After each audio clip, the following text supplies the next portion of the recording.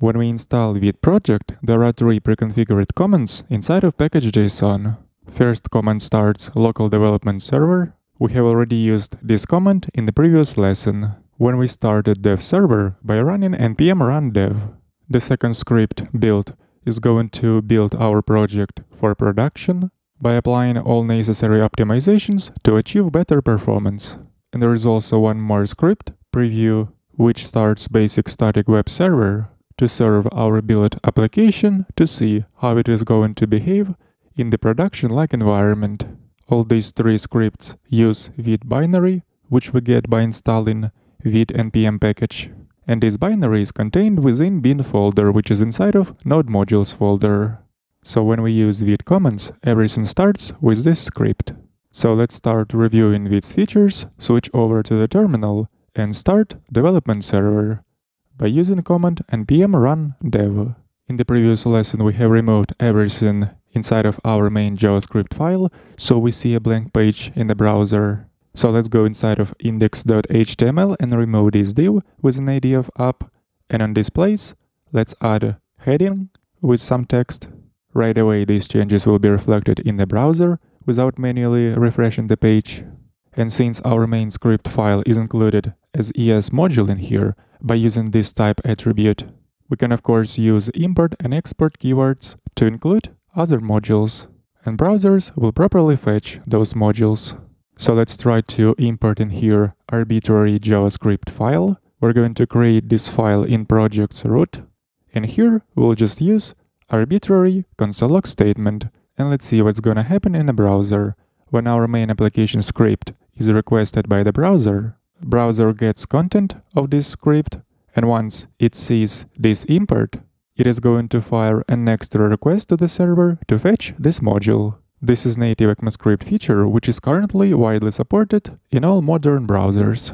So we can easily leverage native ES modules. And once we get a response on request to fetch module with name A, we get this content and browser is supposed to run this module. So now we're supposed to see this console log statement in browser's console. And sure enough, we see this output in here. So by now there is nothing special going on, and such imports of ES modules are natively supported in browsers. So let's try something more interesting. For example, let's try to use npm package.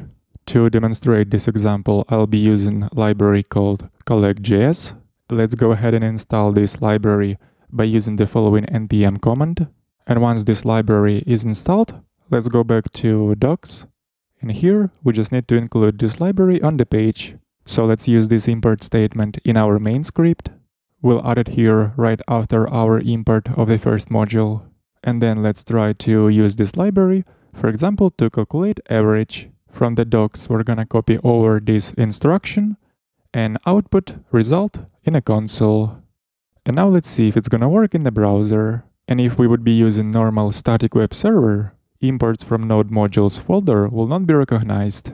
So import of this collect library is not going to work. But in our case, we're using Vite server, so this example worked fine. And we got calculated average in a console. And let's find out what happened in this case and how Vite was able to process our import of npm package.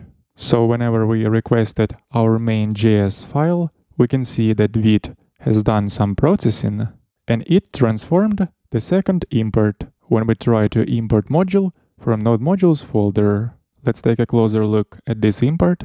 We see that Vite transformed path to this library. And once browser receives this transformed import, it is going to request this library by using the following paths node modules.vite deps and the name of our library collect.js. And once browser tries to request this file by using the following paths, sure enough it gets source code, which makes that collect library work in the browser. So Vite has dynamically generated folder called Vite within node modules folder, and here it puts source code of our imported library collect.js. And at the same time, Vite has done some optimizations to this source code. And this is how Vite makes it possible to import libraries directly from Node Modules folder. So these libraries will be available to use inside of browsers. And this is a big advantage of Vite server over basic static server. since static server cannot resolve imports from node modules folder. And now let's take a closer look at what transformations are applied to our source files when they are served. And exactly for this purpose, we have previously installed Vite plugin called Inspect. Here we can clearly see how Vite transforms our source files. If we select here module main, we can see initial content of this module as we wrote it and transformed code which gets sent to the browser whenever a browser requests this module. Here we also see that import of module from node modules folder. But if we take a look at transformations what are being applied to another module, a.js, we can see that the content of this module is left as is. So we didn't try to apply any transformations because this content can be easily recognized by browsers. So no extra transformations are needed in this case. It's just a simple console log statement. Now let's go back to the editor and in projects root, let's create new folder called source. This is pretty common convention to name this folder source, which is going to store all our source files. And right away, let's just move our module A inside of this folder. And right after that, let's go to main.js.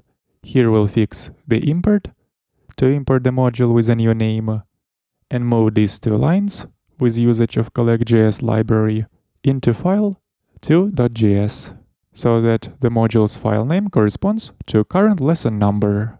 And one more time, let's see what's going on in the browser. When browser requests our main script file with the name main.js, it parses content of this file, and once it sees this import, it is going to fire another request to the server to fetch module with this name. And we see this request right here. And while fetching content of this file, Vite has done extra transformations to provide support for importing modules directly from Node Modules folder by doing all necessary transformations to this import statement.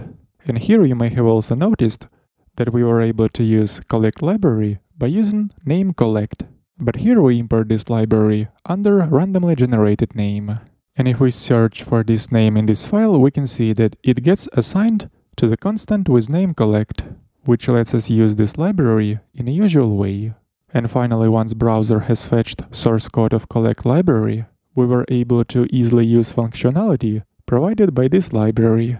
And the ability to use libraries imported directly from Node Modules folder is a great advantage of Vite server over basic static server.